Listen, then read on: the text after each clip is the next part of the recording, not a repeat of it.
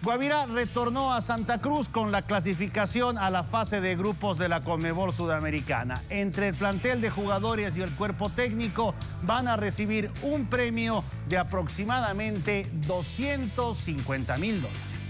Tras una histórica clasificación a fase de grupos de la Copa Sudamericana, el equipo de Guavirá llegó a Santa Cruz.